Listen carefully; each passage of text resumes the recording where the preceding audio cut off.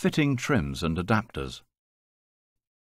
Apply a continuous bead of silicone to the sides and bottom faces of the box gutter. The box gutter adapters are joined to the OG gutter with the OG gutter inline connector. And insert the adapter. Remove the backing of the box gutter sealing tape. Position the box gutter sealing tape centrally over the joint, pressing firmly across the box gutter. Ensure no air pockets are present working well into the corners and sides.